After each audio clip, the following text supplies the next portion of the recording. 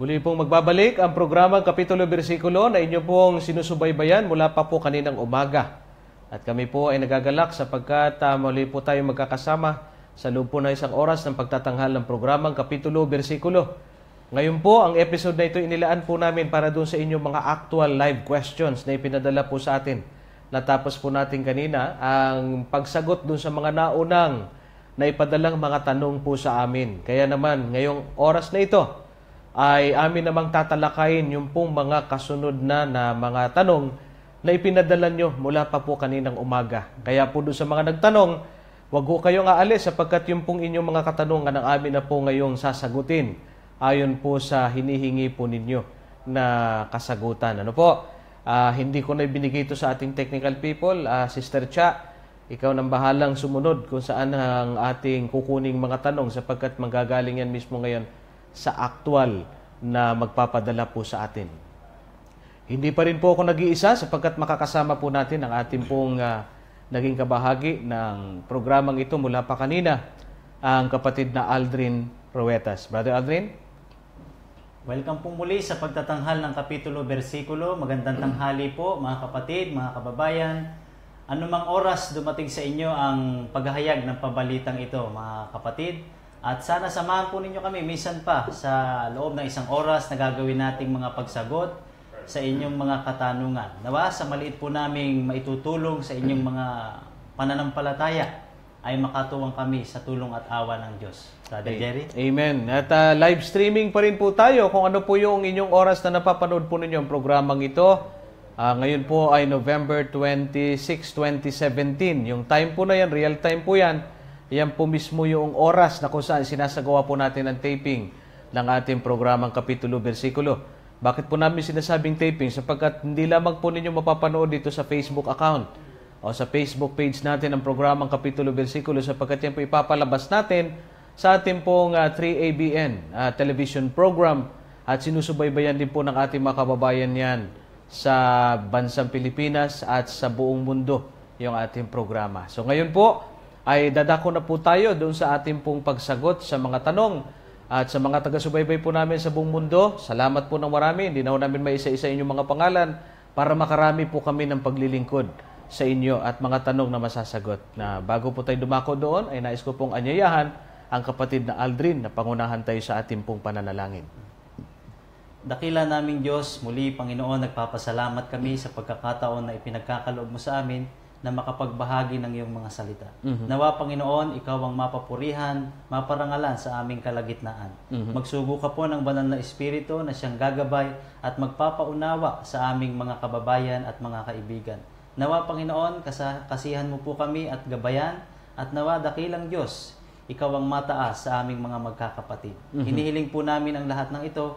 Maraming salamat, Ama, sa katugunan sa aming panalangin. Hinihiling namin ang lahat ng ito sa matamis sa pangalan ng aming Panginoong Hesus. Amen. Amen. Amen. Kapatid na Aldrin, mm-hmm. ay uh, kagaya ng ating uh, sinabi sa ating uh, panimula ng ating programa, so ngayon ay ating pong uh, sasagutin yung pong mga naipadala sa ating mga mm-hmm. tanong dito sa ating pong uh, uh, Facebook page. At uh, ngayon ay atin pong uh, sasagutin ang tanong mula po ito kay Okay, Dane Stewart, nagparamdam muli sa atin yung ating taga-subaybay. Okay. Sabi po niya, good morning po. God bless po sa inyong lahat. Uh, sabi niya dito, waiting for the live streaming ulit.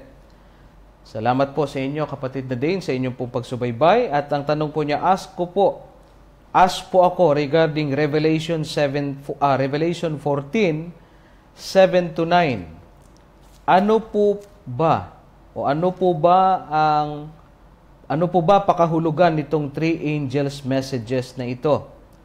Salamat po. Tuloy ko na rin itong kanyang sumunod pa para isahan na lang. Doon po sa second angels, ano angel, ano po ba ang bansa o bansa ang Babylon sa panahon natin ngayon? Sa third angel naman po, ano yung sinasabi na receive his mark in his forehead or in his hand. Abay, mahaba pala ito. Pati angels messages ito. Eh, yan po sinasabi namin. Ito po, eh, hindi ho namin ito pinaghahandaan kasi ito'y actual. Mhm. Eh, hindi, hindi nga ito nakopya yata ni Sister Charlene eh. Diyan sa ating uh, wall. Kasi nandiyan natin kinuha yan sa ating inbox. Diyan sa ating inbox ng ating uh, uh, uh, Facebook account. So, ang tanong niya kapatid na Aldrin ay ask daw niya yung Revelation chapter 14 verses 7 up to 9 tungkol ito sa tatlong pabalita ng sinugong anghel. The three angels messages. Salamat po. Unahin muna natin yun. Yung una niyang tanong, ano po bang ibig sabihin ng tatlong sinugong anghel doon sa Apokalipsis Kapitulo ah, 14, versikulo 7 hanggang 9? Siguro basahin muna natin, kapatid na Aldrin, yun ano? Simulan po natin sa 6, Brother Ah, Jerry. sige, Andun sa po 6. yun. Sa Apokalipsis Kapitulo 14, versikulo 6 hanggang Mm-hmm. 9. At nakita ko ang ibang anghel na lumilipad sa gitna ng langit, na may mabuting balita na walang hanggan, upang ibalita sa mga nananahan sa lupa at sa bawat bansa, at angkan at wika at bayan sa 7.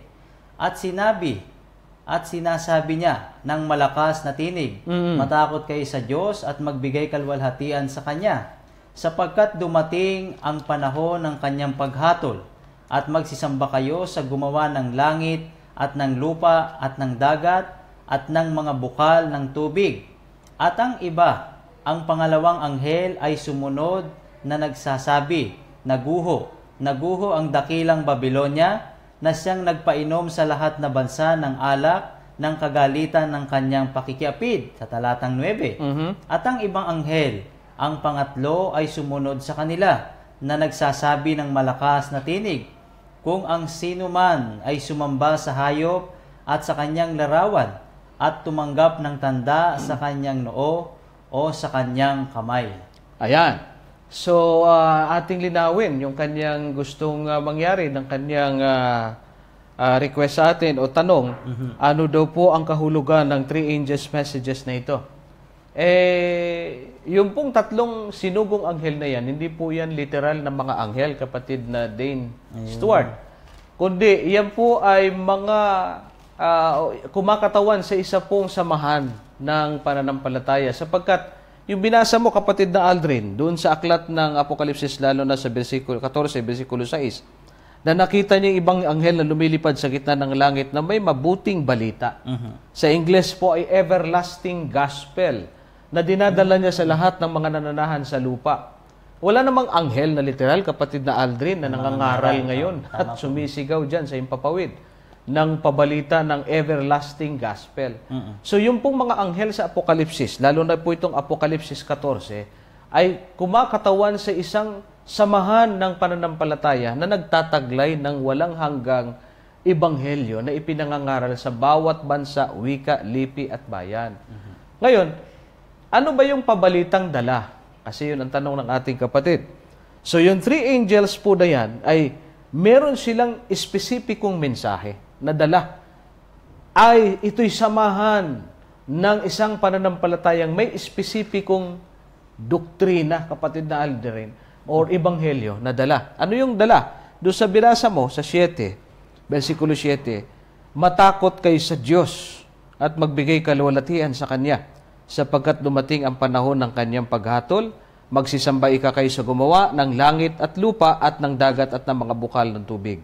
Ito yung laman ng pabalita, kapatid na Aldrin.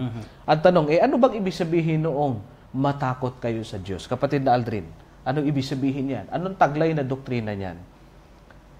Yung doktrina po niyan, ala, sa, sige nga, kapatid na Aldrin, ano ibig sabihin nun? Ano ibig sabihin ng pagkatakot sa Diyos? Pagsunod yan eh, sa mga... Tama, yan ay doktrina natin ng pagsunod sa mga utos. Pakinggan po ninyo ang Ecclesiastes, kapatid na Andrin. Sa Kapitulo 12, ang versikulo po ay 13. Kapatid na Andrin, pakibasa nga natin yun. Ito Ano? po sinasabi, 12.13. Mm. Ito ang wakas ng bagay. Yan. Lahat ay narinig, ikaw ay matakot sa Diyos, Yan. At sundin mo ang kanyang mga utos, Mm. sapagkat ito ang buong katungkulan ng tao. Espesipiko pong doktrina na dala ng tatlong sinugong anghel, lalo na yung una. Yung unang sinugong anghel, ang emphasis ng kanyang doktrina ay matakot sa Diyos. Ibig sabihin ng matakot sa Diyos, may kinalaman ito pagsunod sa kanyang mga kautusan. Kaya yung pong, yung pong samahang sa Diyos na nagtuturo ng tunay na aral ng Diyos, ibanghelyo na walang hanggan, ay nagtuturo po siya ng pagsunod sa mga utos, kapatid na Aldrin. Taglay yun. Taglay po yun. Particular po yan. Yung ginamit dyan ay entole. Or yan po kumakapit sa tinatawag nating sampung kautusan ng Diyos. Kaya pag meron pong sekta o pangkatin, kapatid na Aldrin, ng relihiyon o samahan, na sila daw ang tunay na sa Diyos, nangangaral daw sila ng full gospel. Eh, ito, full gospel to eh. Everlasting gospel eh. Ang sabi diyan, nangangaral ng pagsunod. Eh kung meron pong mga mga ngaral na ayaw sa sampung utos, abay, palpak na agad, hindi na kaagad tumupad doon sa hula ng Biblia na sila ay mga ngaral ng pagkatakot sa Diyos. Lalo na sa mundo natin ngayon, Brother Aldrin, ang dami mga taong manlalabag sa sa Diyos eh. Eh, biruin mo, pati ba naman yung same-sex marriage, ipapasok eh. At kung ano-anong mga, kung ano-anong mga bagay na labag sa sinasabi ng, ng kautusan ng Diyos. Kaya ito pong samahang sa Diyos, nagtuturo, dapat sumunod sa utos ng Diyos. Ayan. Bilang katugunan doon sa sinasabing matakot sa Panginoon mong Diyos. Ano pa yung laman? Magbigay, ano pa yung binasa mo, Brother Aldrin? Sabi diyan, magbigay kaluwalhatian sa Kanya. Ano ibig sabihin, kapatid na Aldrin, dyan sa magbigay kaluwalhatian sa Kanya? Parang alam ko yung bubuklatin mong talata eh. Just 31 na binanggit mo na kanina sa unang Korinto. Pakibasa mo nga kapatid na Aldrin. Unang Korinto, Just 31. Kung ano ibig sabihin yan, doktrina na mata- magbigay kaluwalhatian sa Kanya. Sige nga po. Kaya kung kayo'y nagsisikain man Yan. o nagsisiinom man Yan.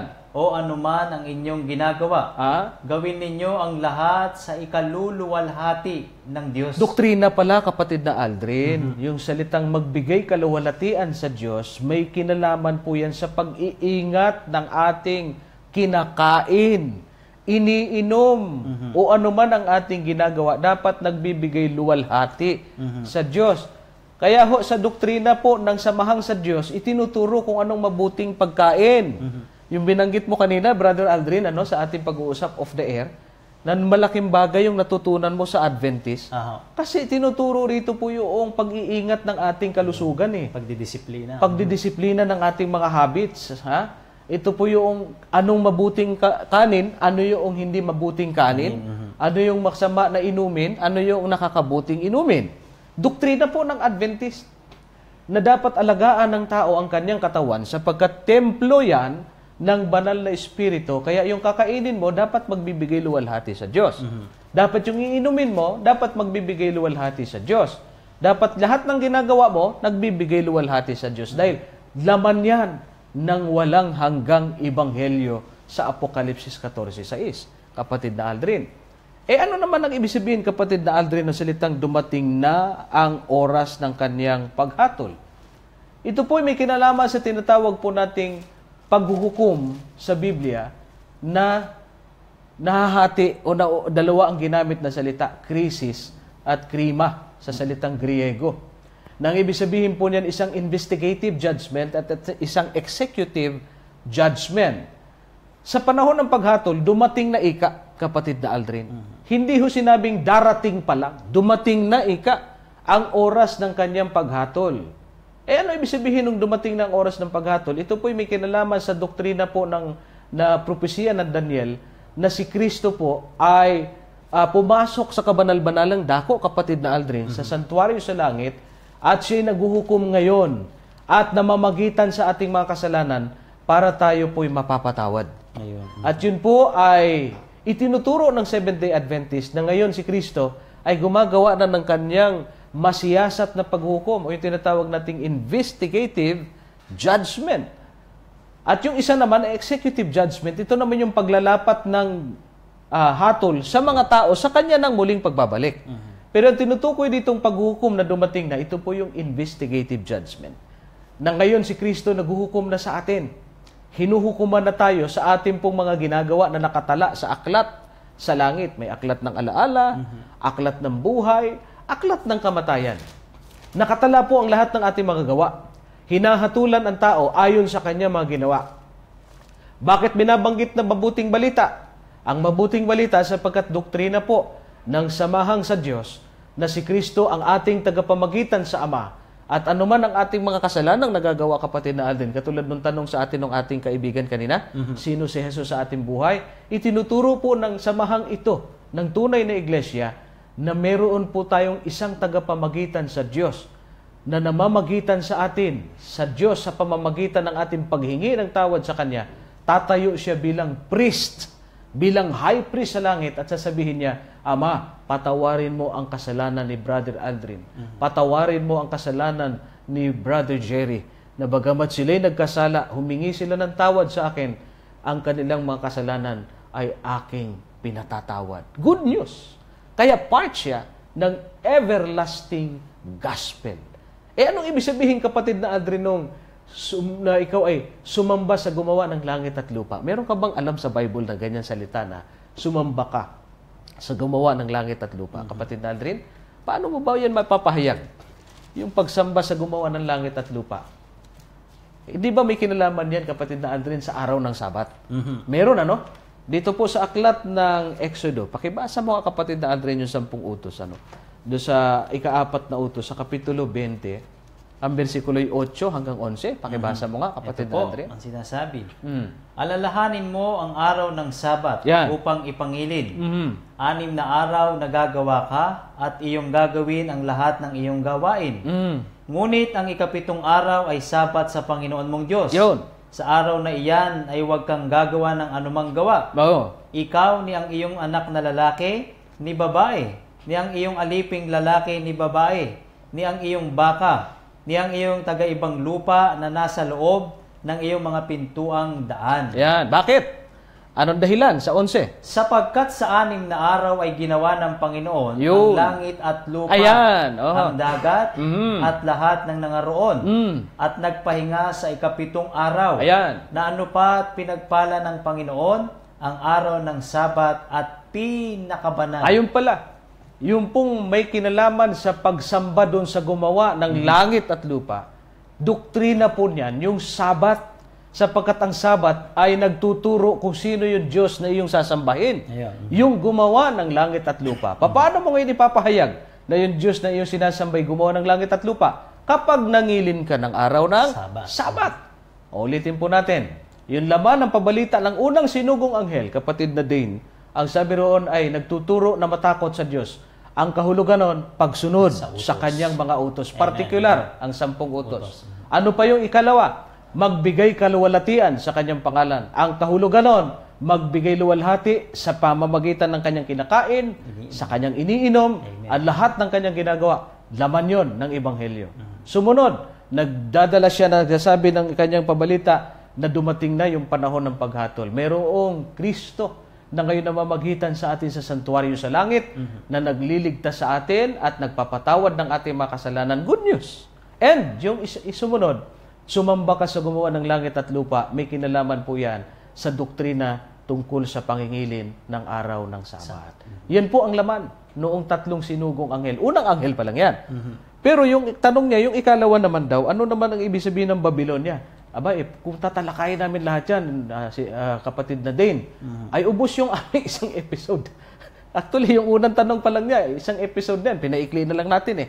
O yung ah, tanong na lang niya, mabilisan na lang natin sagutin, ano po ang ibig sabihin ng Babylon sa panahon natin ngayon? Kung pong Babylonia na literal ang tinatanong po ninyo, iyan po ngayon yung ating pong, ah, kung tawagin natin, Iraq. Ah, kapatid na Dane. Yan po yung modern name ng Babylon. Iraq po yan. Ano po?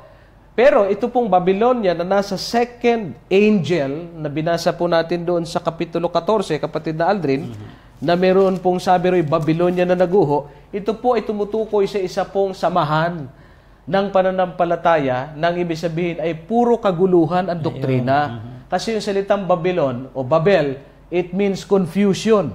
So yung kanyang doktrina, mababasa po ninyo yan, katangian ng Babylonia, yung nasa aklat ng Apokalipsis 17, ang bersikulo po ay 5. Nasabi diyan kapatid na Aldrin, ang At- sabi diyan. At sa kanyang noo ay nakasulat ang isang pangalan, Oh, Hiwaga, Dakilang Babylonia, ina ng mga patutot at ng mga kasuklam-suklam sa lupa. oh, isa po yan sa katangian ng Babyloniang tinutukoy ng Apokalipsis. Yung babae doon sa Apokalipsis 17, tinawag siyang ina ng mga patutot, uh, sabi riyan ay Hu- Babylonia, dakilang Babylonia. Anong katangian?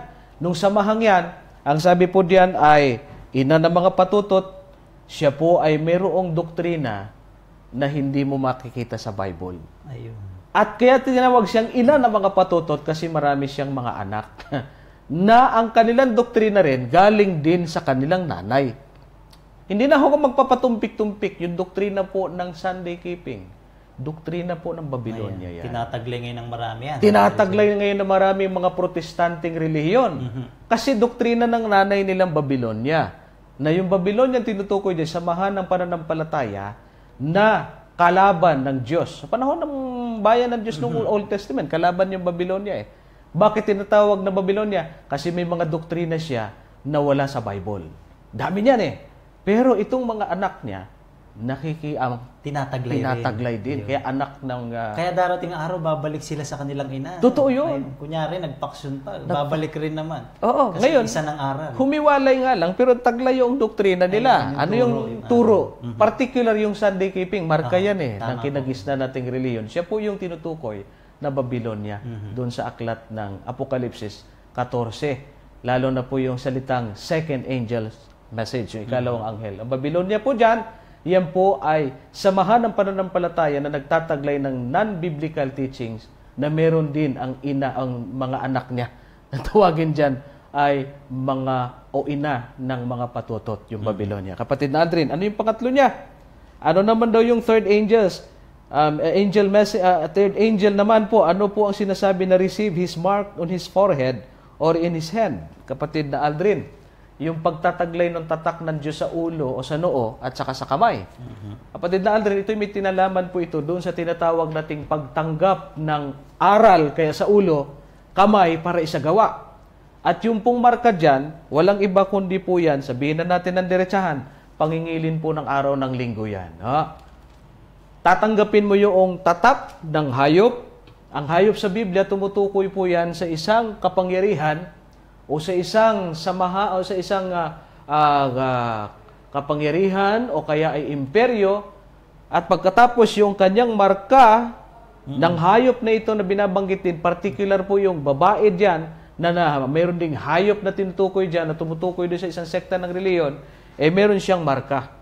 Yung samahan po ng hindi sa Diyos, yung Babylonia na tinutukoy diyan, meron siyang marka. At ano yung marka niya? Sunday keeping po yun. Yung po mga nangangaral ng linggo, tinatanggap po yung marka ng, ng beast. Pero ngayon, hindi pa natin, hindi naman pwedeng hatulan. Kasi marami naman po mga tao ngayon na naniniwala sa Diyos, sincero. Yan nga lang, nagkamali lang sila ng kanila pong pagkaalam. Wala pang marka ng hayop yun sa kanila. Kasi yung pagmamarka ng hayop dyan, may kinalaman na po dyan kapag in-implement na yan, yung tinatawag nating kapatid na Aldrin na death decree. Ngayon, marami ng mga unity na ginagawa ang mga presidente, kapatid na Aldrin. Gusto nilang pagkaisahin ang mga relihiyon. Magulo na ika ang bansa natin. Ay, kaya tinan nyo, nangangasiwa, magtataka kayo, kapatid na Aldrin. Ha? Anong relihiyon po ang kayang i-unite ang lahat ng leader? Catholic. Alam na alam ninyo ho yan eh. Oh. Meron lamang pong isang samahan ng pananampalataya na kaya niyang i-unite ang lahat ng leader. Mhm. Even ang mga kapatid nating Muslim, kaya siyang i-unite. Bakit po? Yan ang hula ng Biblia. Darating ang araw na yung marka niya, ipapasunod niya rin sa lahat. Yun po ang pinag-uusapan diyan. Tataglayin Sa- din. Tataglayin din ng lahat ng mga tao. Maikli lamang po ang ating pagsagot. Detalye po niyan. Kung meron pa ho kaming panahon, itatalakayin po namin detalye yung prophecy ng Revelation. Abangan po ninyo yan. Isi-series po natin yan dito sa kapitulo, versikulo. Yun po ang sagot natin doon sa mahabang tanong ni sister, oh, sister o brother. Brother. Eh, hindi ko alam kung babae ito o lalaki kasi yung kanyang pangalan, Dane Stewart. Yung kanyang pangalan ay ah, tunog ah, lalaki, pero ang kanyang picture ay babae. Kaya napapuzzle po ako kung ano siya. Okay, yan po ang ating... ah, ah, anyway, baka magalit sa ating kapatid, hindi po namin kayo pinipintasan. Yan kasi yung minsan sa, sa Facebook, Oo. Iba-iba yung profile eh. Minsan yung pangalan binabaliktad. Ah, salamat po ng marami sa inyo pong ah, tanong kapatid na Dane Stewart. Okay. Punta tayo doon sa isa pang tanong kapatid na Aldrin. Mula naman ito kay Michael Gadon Ya- Yalon. ADD po ba yan? Ah, yung kanyang tanong is yung conversion story mo kanina. ADD po ba yan? Anong sagot mo? Opo. Dati. Dating daan po tayo. Dati. Dati. Oo. Ngayon nasa daang bago na. Nasa daang bago na. Pwede ka bang magdagdag pa ng iyong mga testimonya? Ano ba yung naging karanasan mo doon? Eh, sa pag-aaral, ano ba ang ginawa sa iyo doon ng ano? Tinutukahan ba kayo? Ng, ano? Nako, yan pala, Brother Jerry. Buti na banggit mo yan. Oho. Kapag ikaw ay dudoktrinahan sa samahan na yan, Mhm. ang lagi niyang tinuturo, naalala ko eh, itong 9-7 na ikalawang Korinto, yung pasya ng Puso. puso. Aha. Pero pag ikaw ay kaanib na, Oo, ang magpapasya na yung puno. Oh, nako. Kaya nga nakuha ng kabilang panig yung kanyang video, eh, nanghihingi eh. Mhm. Katukin sana ng Diyos ang inyong mga puso, kapatid. Mhm. Tigi isang libo lang kada miyembro, eh, masasaludar yung aking malaking utang. Nako. Kaya yon mga kababayan. Kaya nga, pag kami dyan ay, dahil tayo, Brother Jerry, Aha. nanguna din sa mga kabataan dyan, yung, yung kanilang departamentong kung tawagin ay KKTK, Mhm. kapisanan ng mga kabataan tungo sa kasakdalan. Mm. Pero ngayon, nabago na yung meaning sa huli, kabanalan na huata. Mhm. Pag tayo, si Brother Eli, pagkitin na natin, kapag siya ay talagang nagdedelehensya kami para pagpasalamat, provide ng kabataan yon Brother Jerry. Aha. Mhm. Kaya yun ang magiging isang patutuo ko pa na nagpo-provide kami papuntang apalit para pasalamat. Mm. Yun, yun yung aming Binibigyan ginagawa. kayo ng goal? Mhm. Dapat, may, May toka goal. po yun. Mhm. May toka. Ah, paano ginagawa mo noon nung ikaw ay ka- leader ng Ang kabataan? ginagawa namin dahil may mga kapatid ay nananawagan kami sa pulpito na maari Mhm. ang isang pamamaraan namin ay marami kasi siyang produkto, Brother Jerry. Mhm. Mhm. May Isa lumpia. dyan- Ayan, yan. Mabili talaga yung lumpia. Tsaka yung pandesal ni Ingkong, yung may malunggay. Ah, oh. Yan ang paborito ko sa apalit. Ah, Tsaka yung ganun ba? lugaw niya. Oh, lugaw. Yan. Siya mismo ang nagluluto eh, no? Mhm. At yan ah, ay binababa sa mga lokal para ang mga kabataan makatuwang sa gawain. Ika nga, magtitinda. iyon. Ipagtitinda. I- eh, alok din naman sa mga kapatid. Ah, Doon oh, lang kailangan. din. Oo. Oo. Tapos, Isa dyan, yung t-shirt. Marami. Oo. At naalala ko pa eh, yung may concert siya. oo. Pinag-produce kami ng ticket. Mhm. Inimbitahan niya nga itong sex bomb. Ah, ganun At ba? yung mga manggagawa, pinagsayaw ng jumbo hot daw. Ah, Sabi ganun? ko, mahalay na ito. Hindi na. Pero mo, ah, Brother Jerry, ayaw niya sa mahalay, pero pinagsayaw sa Araneta Coliseum ang mga sex bomb dancer. Alam niya yung mga matatandang kapatid dyan. Itong mga nakalipas na pitong taon. Mm. Kasama pa nga dyan si paborito niya kasing kumanta eh. Nakakaduit niya si Pilita Corrales. Alam Ah. niya nung sikat Ah, natin. eh, eh, hindi ho namin sinasabi ito para pintasan po ha. Ito po'y tanong nga eh. Karanasan. Karanasan po niya ito. Kung ako daw ay ADD. Ah, oo po, kasi tinatanong kung totoo bang ADD nga. Ito nga po, nagkukwento na siya ng kanyang personal na karanasan. At para, syempre, dahil mahal natin yung mga ngaral na yan sa mga kababayan natin, Oo. Brother Jerry, Mm-mm. Na tayo, maging sa pag-awit ay dating daan. Oho. Dahil yung kanyang kantang Dala kong nakalimbag, eh, sa aming lokal eh, Kinakanta. ako ang nakakabisado niyan, Brother Sampulan Jerry. mo nga, sampulan. Ayan, bigyan po natin Sige, ng sample. sample, Lalo sample. na pag... Kabisado mag- mo pa? Ay, opo Kahit na naman. mga ilang linya lang. Oo. Sige nga. Lalo na pag magsisimula yung programa niya kay Don Manolo, ganito ang pinatutugtog Brother Jerry. Ah, sige. Pagsubok ay dumarating sa pinsaping kapanglawan. Oo. Puso'y ibig na manghina, tila hindi makayanan. Araw-gabi ay balisa, Mm. diwa'y hindi mapalagay. Mm. Nangangambang baka bukas. Kasi mahilig magpaawayan eh. Oo. Sa Diyos amay mapawalay Mhm. sa maliit na paraan. Oo. Ayan, yan yung dala kong nakalimbag. Oh, ano yung chorus? Yung chorus. Ayun, dala kong Yan. nakalimbag Mhm. sa aking katawan. Nanonood sa atin si Direk. Ang tanda ni Jesus. Bibigyan niya ng album yan. Magpakailan pa man, Hmm. dala kong nakalimbag. Yan. Sa puso ko't laman, mga halimba. Ganyan ko kamahal yung mga ngaral na yan, Brother Ayan, Jerry. no? Ang katunayan, hinango niya yan eh. Mm. Sa aklat ng Galasya eh. Mm. Yung sinabi ni Apostol Pablo na dala kong nakalimbag, yung Aha. mga tanda ni Jesus. Sa aklat ng Galasya eh, Kapitulo 6, versikulo 17. Oo. Ayan, alam ng mga kapatid. Siguro nga, hindi naman sa pagtataas sa sariling bangko. Mas Brother kabisado mo. Ako lang ata nakakaalam nung Kantang yun. sitas. Tsaka yung sitas, Sitas. na pinaghanguan Eh, ng dala kong nakalimbag. at saka kayo- 6, 17 ng galas. Kayo mismo mga kababayan namin. Alam nila yan? Na, na ngayon ay naka, nakapanood. Eh hindi niya ho, wala akong nakitang hawak dito ng kanyang Outline lyrics na pagkanta, oh. ng kanta. eh pati ho yung awit, alam eh. Tono eh, brother. Tono eh. Pati yung sitas ng Biblia na pinaghanguan, kabisado. O ngayon, magduda pa kayong dating daan nga ito. Okay, nagtatanong. Eh, yun po eh, klaro. Ay, lalo na sa kanyang karanasan. Eh, di ba may kay Toka kayo, Ika? Pag Mm. hindi kayo nakaabot, ano mangyayari? Ay, nananatili po yung tinatawag na yung target spot. Target Ayan. spot. Nagkakaroon pa kami ng utang dyan. Ganun ba?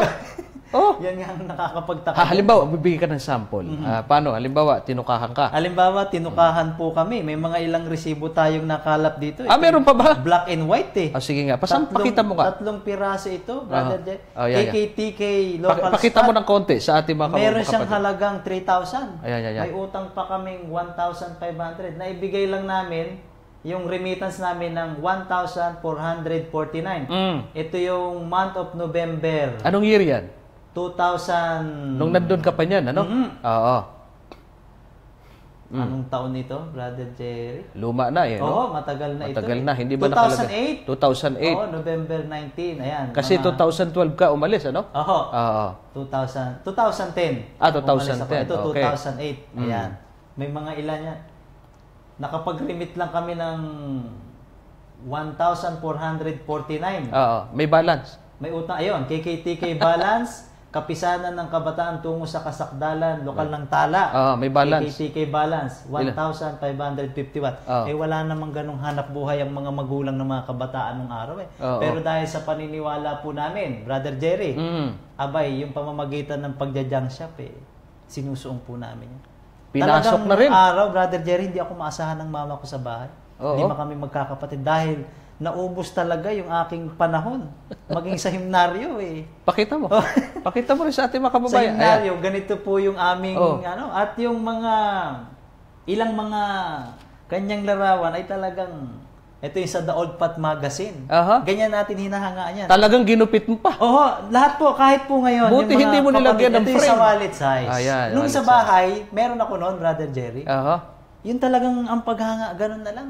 Kahit Oo. sa lahat ng mga kapatid, tsaka ito, Brother Jerry, no, Mm-hmm. take note sa mga kapatid namin at sa mga kapatid ko dati dyan. Mm. Walang lokal ng dating daan na walang larawan ng mag-angkel. Mm. Talagang inaano nila sa mga kapatid na kilalanin talaga. Oo. Ayan. Ayan. So, walang mga- lokal na, walang larawan ni Ingkong at ni kuya nila. Oo, si ano, oh, okay, mga kababayan at mga kapatid Mm-hmm. natin ano, paumanhin po ano. Kaya lang naman nabanggit natin 'yan, may tanong kasi. no? Kaya minsan ay lalo na yung mga kababayan nating oh, mga kapatid natin nandoon sa kabila ron. Eh, yan naman eh pakawala nyo lang. Yan naman eh binayaran nyo lang. Ayan, sabi pa. Ayan, sinasabi nila dyan, bayaran nyo lang. O kaya naman sinasabi nila, iyan naman eh, tiniwalag yan. Ay, unang-una ho, nilinaw na ho namin, di ho yan tiniwalag. Kusa Ayan. pong umalis yan. Bago po ninyo sabihing tiniwalag si Brother Aldrin, kusa pong umalis yan na nakakita ng kapintasan. Sige, kapatid Ayan, Aldrin. ito nga Brother Jerry Mm. gusto nating liwanagin. Opo. Nauna yung pag-alis namin dyan, Mm. bago maglabas ng circular na kami ay tiniwalag. Ah, naglabas ba? Oo, naglabas na Kasama ka? sa lokal. Ay, nasa listahan po ako. Kasama ka sa listahan? Dahil yung isang kaibigan ko dyan, si Brother Cecilio Seriaco ng lokal ng Phase 5 dyan sa Bagong Silang, nagsabi, nabasa na ako sa circular, isa ako sa mga nahayag na. Aha. Kaya tayo titiwalag, anong laman ng circular? Si kapatid na Aldrin Ruetas. Ay, hindi na nga kapatid eh.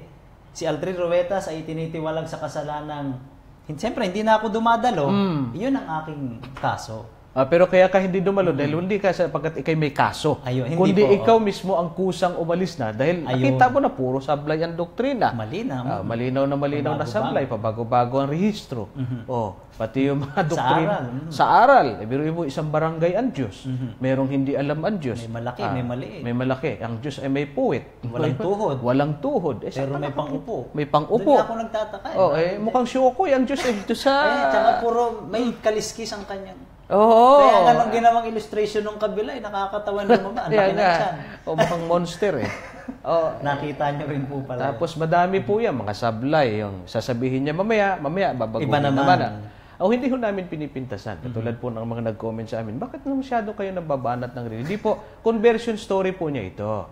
At nagtatanong yung ating mga kaibigan, personal niyo itong karanasan. At dito naman po, nabasa kasi yung kanyang video, eh, pi- wala na eh, tinanggal na sa YouTube eh. Sino man yung may kagagawa niyan, siguro naman nagsisi na rin yun eh. o eh, eh, kaya naman po, gumawa ho kami uli ng panibago. Tanggalin niyo ulit ito, gagawa ulit kami ng panibago. Kasi hindi ho namin ah, pwedeng itago kung ano yung ah, katotohanan, kapatid na Aldrin, ng istorya ng iyong conversion. Ano po? So, yun po ang ating gustong sabihin. Kaya mm tinatanong niyo kung anong meron siya, magtanong ho kayo sa kanya kung gusto niyo anyayahan niyo ang kapatid na Aldrin sa inyong mga iglesia. At makikita po ninyo yung sinasabi niya galing sa kanyang puso at may mga ebidensya siya mismo na siya mismo ay lehitimong kaanib dati dyan sa samahang yan. Kaya yung mga nagagalit at uh, nako puputulin na naman tong video ito dyan sa YouTube at saka sa Facebook ay hindi ho yun. Huwag kong ganyan. Kasi o ako sa inyo, gayahin niyo si Brother Aldrin. Mhm. Sabi naman kasi, pag nakakita kayo ng kamalian, layasan nyo. Layas. Ah, layas. Layas na nga. Pati nga yung tagabasa, lumayas na eh. Di ba? Yung tagabasa si, ano? Binabati natin Ah. siya. Oh, si Brother Willie Santiago. Oo, binabati natin. Kaibigan naman natin kaibigan yan. natin Ginagalang natin. Wala ko kaming nilalait na tao dito. Mm-hmm. Doktrina po ang aming pinag-uusapan. Ano po, mga kaibigan at mga taga-subaybay natin. Mm-hmm. Okay po. Sumunod po na gusto nating ipaglingkod. Ito po ay, tama po ba ang desisyon mo, kapatid? No, ayan. Ah, tama po ang desisyon mo, kapatid. At nakalayas ka po sa ADD. Aral po ang hinahanap po natin. Ay, salamat po. Mula po yan kay Ramon Cruz. Ayan. Salamat kapatid na Ramon Cruz. Oh, Ramon Oh. Cruz. Tama daw yung desisyon mo. Ipag-pray natin ang iba pa nating mga dati kong kasamahan sa grupo na yan sapagkat Mhm. mas palala talaga ng palala, Brother Jerry. Sana talagang awa at biyaya ng Diyos na magising. Biruin mo kasi, wala kang bukang bibig. Ano, pasintabi po doon sa mga kapatid na dati mong kasamahan. ano? Di ba ang lagi ninyo sinasabi nung ikay naroon pa? Mapamalian mo lang. Si kapatid Si na Eli. kapatid na ano, Eli, yung kami ay ay alis. lalayas kami. Ah, Panatiko eh. Hindi doon sa kung ano sinasabi ng Biblia eh. hindi, hindi. Kundi yung, alam nyo, kung bibilangin ko lang, mas marami pa yung pangalan niya eh, kaysa sa kay pangalan ni Kristo eh. tama doon sa mga panatiko. Meron nga siyang nilabas na paksa, Brother Jerry. eh, May kakulangan si Apostol Pablo. Ang makakakompleto ay si Ingkong. Wow. Meron siyang pinaksang ganun. Mas May magaling pa pala pa. Oo, magaling pa. kay Pablo. Itinutuwid niya si Apostol Pablo. O, pa- pasintabi po, ah, kami humihingi po kami ng paumanin. Pasintabi po, ano, ito yung conversion story niya lang. Ano, ha? yan po ang kanya mismong karanasan sa kanya pong ah, dating kinaaniban. Nais natin pong i-recognize din, magandang umaga, KBI o KB. Dito ko sa ah, pi- ano to, Pinamo, Pinamugahan, Cebu. Nanonood sa programa niyo. Keep up the good work mga kapatid. Colonel Voltaire Espejo, Philippine Army, retired Philippine Army, uh, PAF, Philippine Army, ano bang PAF? Eh, Philippine Army uh, Force ba ito? Ba, direct, no? Retired, Colonel. Kaibigan ko po ito, si Colonel Voltaire Espejo. Nanonood po sa atin. Colonel, ah, maligayang araw din po sa inyo ng panonood. Ah, alam ko ito ay kamista ni Senator Ping Lacson. Ayun. Sila po ay magkakaklase, magkakasama. Kaya kapag Colonel Volte, ah, Colonel Espejo, mabuhay po kayo. Maraming salamat sa inyong pong pagsubaybay. Ito po ay tanong ulit ni Jensel Augusto. Ask ko lang po, ano po ba ang standard ng music ng SDA? Bakit may mga SDA church na stricto sa minus one? Kahit ito po ay solemn, solemnly, ano po ang masasabi ninyo tungkol dito? Salamat po sa, sa pagsagot. Ah, ah, sagutin na lang natin ang diretsahan. Mayroon po standard ang ating ah, music ng Adventist. Ayaw po natin kasi sa ating pong mga pagsamba, yung pong mag, magbibigay sa inyo ng masidhing damdamin, katulad nung pag, ah, yung mga malalakas na instruments, Mga drums eh. drumses, o drums at saka cymbals, etc. Yan po ay hindi pinahihintulot ng ating mga iglesia. Lalo na po yung mga pulpit na yung ating mga churches na meron silang pulpit decorum. Pag sinabing pulpit decorum, talagang may standard sa kanilang mga awitin, may standard sa pananamit ng mga papasok sa ah, pagsamba. May mga bahagi sa pagsamba. Sa mga churches po na ganyan, minsan ipinagbabawal ang minus one sapagkat nakakalabas yung mga minus one na may mga drums, may mga cymbals, may mga mga instruments na mabibigat. Kaya hindi po pinahintulot yon ng ilan, hindi naman lahat. Kasi may mga iglesia rin na maliliit, lalo na, na wala naman silang pulpit decorum, kaya nakakalabas yung mga awit kapatid na minsan ay may mga drums, may mga cymbals, mga malalakas na mga instruments na hindi pumapasa sa pamantayan ng Christian music ng Seventh-day Adventist. So yun po ang sagot natin dyan, kapatid na uh, Jensel Augusto. Sabi niya, kahit po para ay solemnly, uh, kahit mo minsan po ay solemnity o solemn yung kanta, kailangan pa rin dumaan sa screening ng tinatawag nating pulpit decorum committee. Kung meron po ang iglesia ninyo, ng pulpit decorum. Ibig sabihin, mm-hmm. lahat po ng inyong mga participants, even your music, na i-screen ng mga kapatid sa simbahan para hindi po makalusot yung po mga standard na music o uri ng musika na hindi umaakma sa pamantayang music ng Seventh-day Adventist. Mm-hmm. Yun po ang ating sagot doon sa ating kaibigang nagtanong. Mula po kay Oliver Diganos, bakit si Abraham ang iniligay na halimbawa ng Diyos na nakasulat sa Bible sa halimbawa sa dalawang namatay na mayaman at mahirap na yon mabuting tao at uh, nasa kandungan ni Abraham. O nga naman, bakit nga naman si Abraham ang iniligay na halimbawa ng Diyos na nakasulat sa Bible? Hindi na po natin pwedeng questionin ang Diyos eh. Tama po. eh, kung si Abraham ang ginamit niya doon na halimbawa sa parabolang yun, kapatid, sa Lucas 16, eh, ang Diyos ang nakakaalam noon eh. Siya ang gumagawa talaga ng tamang uh, paraan. Kapatid na Aldrin, yan ay mm-hmm. nasa aklat ng Lucas eh, no? Na binabanggit doon si Abraham, ang ginamit na uh, pinuntahan noong namatay na si Lazarus sa sinapupunan ni Abraham. Bakit si Abraham? Unang-una, eh, si Abraham kasi ang tinatawag na ama ng lahat ng mga mananampalataya. Lalo na sa mga Hudyo kahit sa mga kapatid nating Muslim, mm-hmm. napakataas ng respeto nila kay Abraham. Abraham. Kasi si Abraham ay ama ng pananampalataya. Kaya ginamit ng Diyos sa talinghaga, kapatid, ha? talinghaga yun eh.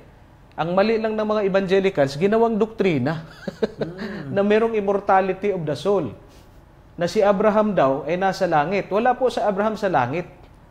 Parabola ho yun eh. Si Abraham po ay namatay at nasa libingan pa hanggang ngayon. Hindi pa binuhay na maguli sa mga patay. Ang binuhay lamang ng Diyos ay si Enoch o dinala sa langit si Enoch at saka si Elias. At magi si Moises na namatay na dinala rin mm-hmm. doon sa langit. Maliban doon sa tatlong taong yan, wala nang ibang dinala kahit si, Abra- kahit si Abraham. Kahit na si Maria, hindi totoong nasa langit, kapatid na Aldrin. Mm-hmm. Kaya hindi pwedeng gamiting doktrina. Kaya ang tanong niya, bakit si Abraham ang inilagay na halimbawa ng Diyos? Eh kasi po si Abraham ang ama ng mananampalataya. Nang ibig sabihin, lahat po ng mga mananampalataya makakapiling ni Abraham, kapatid na Aldrin, mm-hmm. sa langit kapag ka ang Panginoon ay darating. At yung mapapahamak, katulad ng mayaman, eh malayo ang agwat niya kay Abraham. Mm-hmm. Yan po ang ating sagot. Kaya nasa kandungan po si Abraham. Kaya ang, sagot, ang tanong niya, eh sana kung hindi na lang si Abraham para hindi na maituro ika yung doktrina ng immortality of the soul. Ano? Eh kapatid, wag na natin pong questionin ang Diyos kung yun ang kanyang ginamit. Kasi meron lang pong point of emphasis. Pag sinabi pong talinghaga, mensahe ang mm-hmm. binibigyan ng diin. Hindi po yung kwento. Ano po? Kasi kung bibigyan mo ng kwento yan, hindi magiging totoo eh.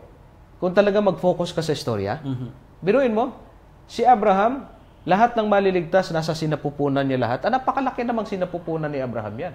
Kung gagawin mo yung literal uh, sa dami ng maliligtas, kakasya kaya sa sinapupunan ni Abraham yun? Hindi. Oh, kaya hindi po pwedeng literal. Pangalawa, kung hindi mo pwedeng gawing literal at magpo-focus ka doon sa istorya, para bagang ang impyerno at ang langit magkadikit. Bakit? Eh, nag-uusap eh. Di ba? Doon sa talinghaga. Kaya, uh, hindi tayo doon nag-focus sa storya, kundi doon sa mensahe. Dahil yun po ay parabola. Yun po ang ating sagot sa ating kapatid. Kung bakit si Abraham? Kasi siya ang father of faith. Gustong i-emphasize ng Panginoon na yung maliligtas makakasama ni Abraham. Yun po ang uh, sagot ng uh, ating pong uh, programa doon sa ating kaibigan nagtanong. Well, tingnan natin kung kaya nating ubusin dito, ano? Mm-hmm. Aha. Okay, tinasagot na natin ito. Aha.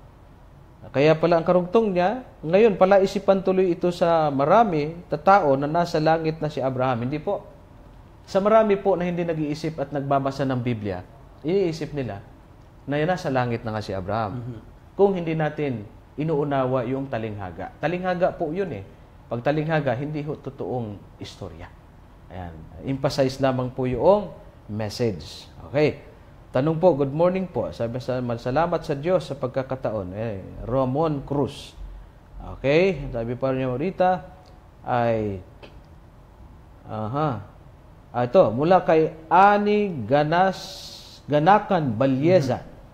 Ami Ganakan Bilyeza, good morning po, watching from Japan. Salamat po sa inyong panonood sa Japan. Question po, sino po ang tumatawag sa Genesis kay Eva at Adan noong after silang tuksuhin? Si Jesus po ba o si God? Salamat po. Anong sagot mo doon, kapatid na Aldrin? Ay, si Jesus, si, si Jesus po kasi, pangalan niya nung nagkatawang tao. Pero yung Diyos na nagkatawang taong yan, naroon na siya sa panahon pa lang ni Adan. Sila nga po yung magkakasama sa Genesis 1.26, nalalangin natin ang tao. Kaya kung tanong ninyo, sino doon? Ang Diyos. Malinaw eh. Yung amay po yun. Diyos. Ang Ama, Anak at Espiritu Santo ay isang Diyos yun eh. Kaya kung tumawag dyan sa Kanya, nasaan ka Adan? Nasaan ka? Nasaan kayo? Nagtago ba kayo? Ang sinasabi po natin, ang Diyos. Pag sinabi ang Diyos, ang Ama, ang Anak, at ang Espiritu Santo. Yun po ang ating sagot. Kung si Jesus po ba yun, sa Kanya pong kalagayang Diyos, siya po ang Diyos anak na tumawag din kay Adan doon sa halamanan ng Eden. Yun ang ating sagot. Pero hindi Jesus. Kasi Jesus kailan lang naman eh. Noong nagkatawang tao lang siya. Yung pangalan niya. Pero dati siya, bago magkatawang tao, Diyos anak ang kanya pong kalagayan. Kapatid na Alin, baka meron kang gusto idagdag. Tama po. Lina po, no? Okay, so sumunod po nating uh, isasagot at uh, ta- sa tanong na paglilingkod. Tingnan natin kung kaya pa siya ng limang minutong natitira sa atin, pero at least mabawasan tayo ng maraming pending. Mhm. Okay, ang tanong po rito. Ah. Mula kay Felin Kiyama. Bro, sino po ba ang tinawag na Melchizedek? Topic lang po kasi sa talakayan.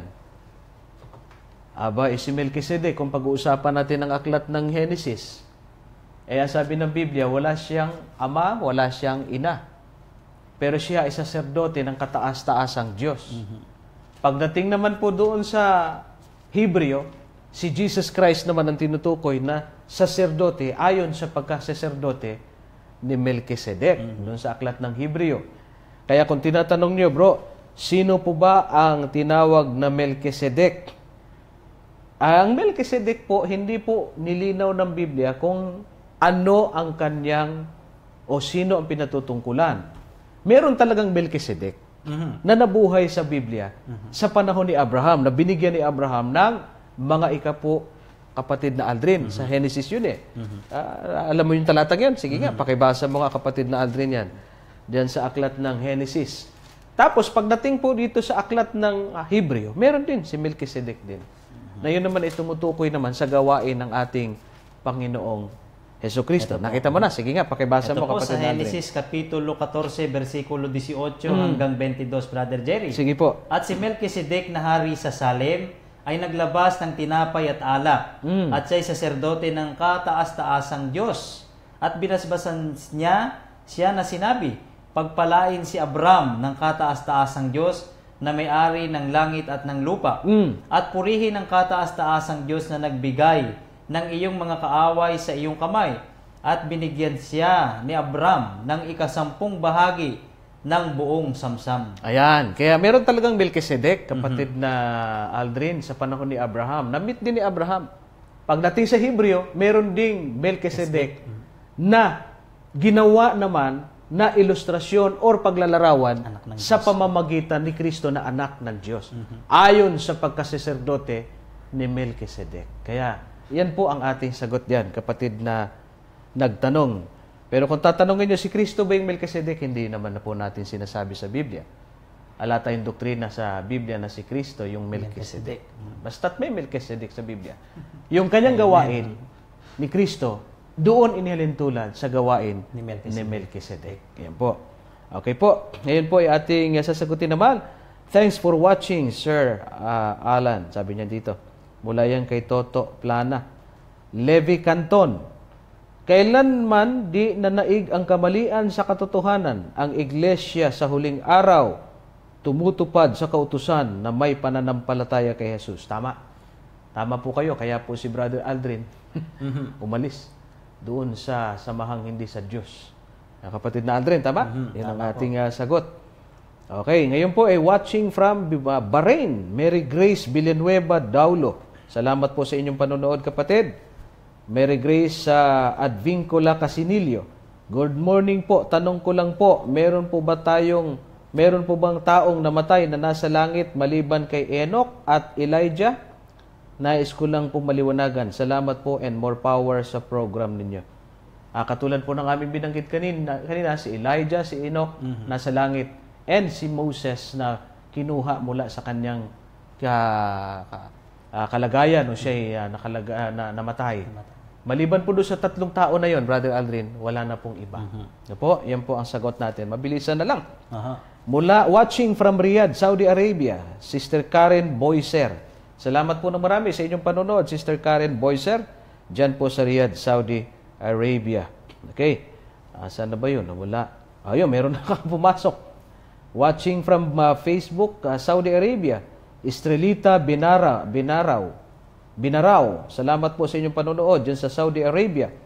Ah, ito pa isa si Anax. Ang haba naman ng mga pangalan ninyo kasi. Ang hirap magbasa. Ink- Inkleto Baltasar Galang. Tanong ko lang po, di na daw po kailangang magparibaptize yung mga nag-backslide dahil wala daw pong mababasa sa Bible. Meron po.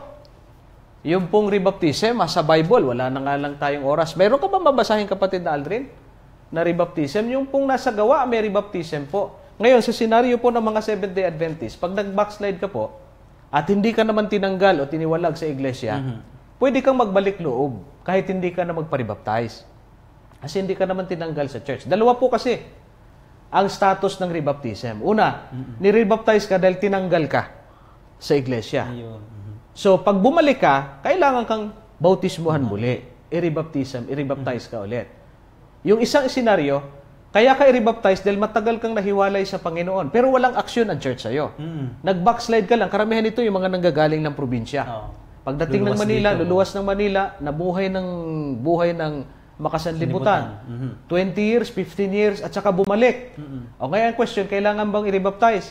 Supposedly, dapat. Pero kung hindi naman siya inaksyonan ng iglesia, eh hindi mo mapupwersa yung tao na i-rebaptize kasi hindi naman siya tinanggal. Ayun. Pero yung kapatid, meron siyang karapatan kung sa conviction niya ay talagang madumi na siya, pwede siyang magpa-rebaptize. But depende sa conviction ng banal na espiritu Ayun. sa kanya. Yun po ang sagot natin.